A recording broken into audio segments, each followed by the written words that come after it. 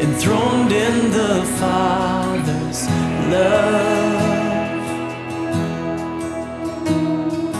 destined to die, poured out for all mankind. God's only Son, perfect and spotless one.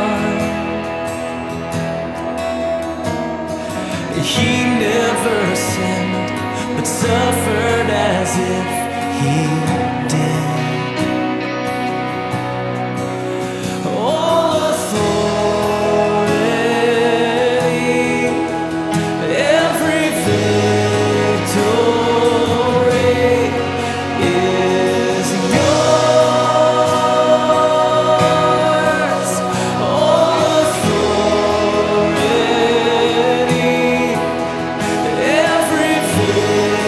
to